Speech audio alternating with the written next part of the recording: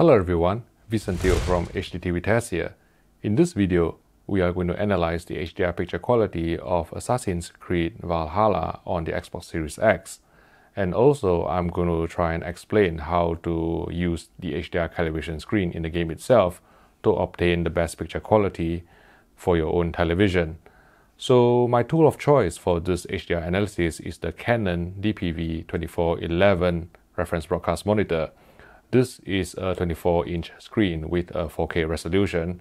And the most interesting thing about this monitor is its HDR analysis toolkit, which some of you may have seen before in my HDR analysis of multiple Ultra HD Blu-rays. So at the top left corner, you can see a frame luminance monitor.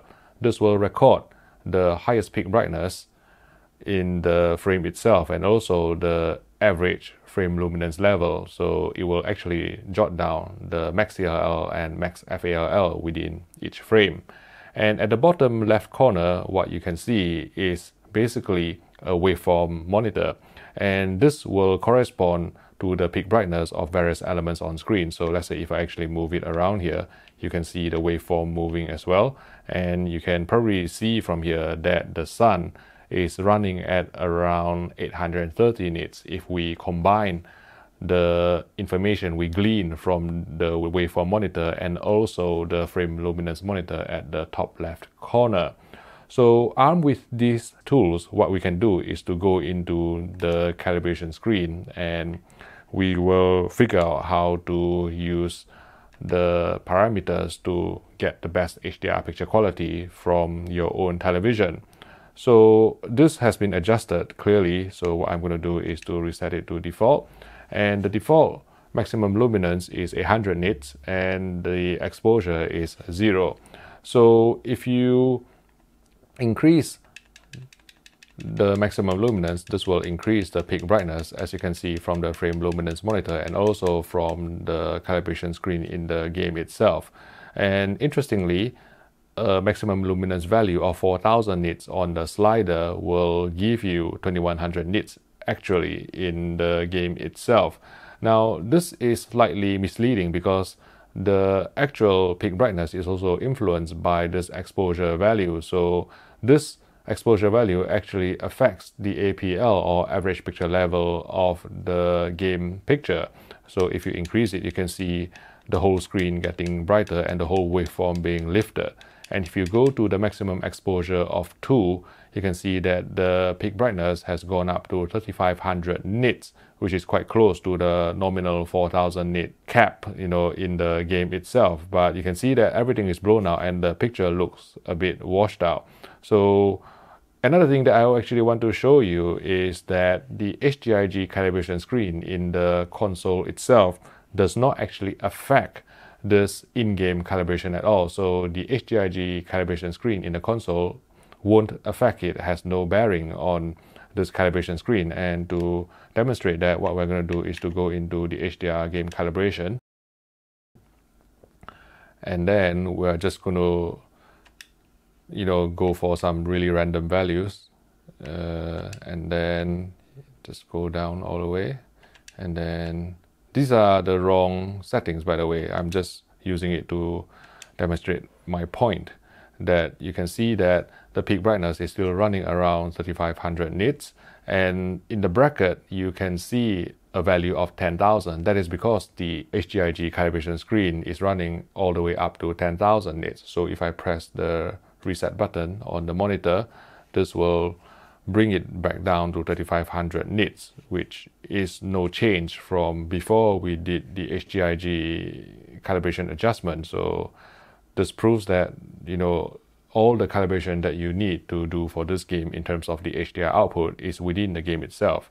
Now let's try and reset everything and the most important parameter in my opinion would be maximum luminance so just determine the highest peak brightness in the game itself if we go all the way down to the minimum of 300 nits you can see that in the waveform, the sun is running at a maximum value of 290 nits.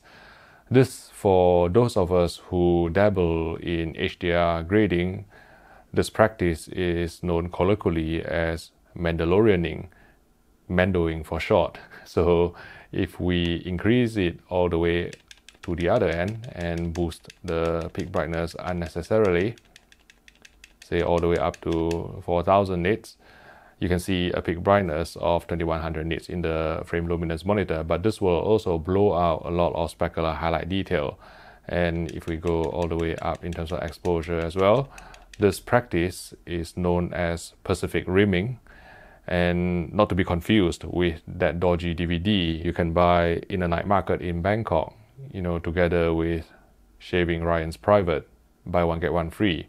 So this is clearly the wrong value as well. So let's figure out how we can get the best picture. The way I would go about this would be to increase maximum luminance and then slowly decrease it. And at the point where you see the first drop in brightness where you can see more specular highlight detail within the sun, that should be your clue to stop. And you know, in my case on this 12,000 pound reference broadcast monitor, it is about 900 nits, which corresponds to 790 nits in game. And the exposure I would generally leave well alone unless you know you are playing in a brighter environment because if you are playing in a brighter environment you may need to lift the midtones. So i would go up to maybe maximum of say plus 5 any higher and i think that the image will look washed out and you will lose a lot of hdr pop. I would probably you know stick to say between 0.3 and 0.5 if you really need that extra boost in terms of the APL average picture level. Otherwise, I would just leave it at zero in a reference condition. Let's say if you are playing in a pitch black room or if you are playing with only an ambient light condition of 5 candelas per square meter as per ITU's recommendation, then I would just leave it well alone at zero. So with this in mind, what we're going to do is to go into the game itself and analyze the HDR picture. Now, if I can just find what it is, you can see that the sun is around 830 nits, which is not too far away from what we set in the game itself. We set it at around 900 nits. And the reflections in the water is a really quite nice brightness, giving it a slight increase in specular highlights compared with say the SDR range, the nominal SDR range of 200 nits. So if I put on the false color function on this monitor, you can see that anything that is monochrome would be the SDR range of 200 nits or below as per the BT2408 document released by the ITU, which states that within an HDR container, the SDR range is below 200 nits. And you can see here from the scale at the left as well that, you know, various elements on screen. It, there is a very nice use of HDR. It is not the most impactful in terms of HDR terms, but it is a very nice use of HDR.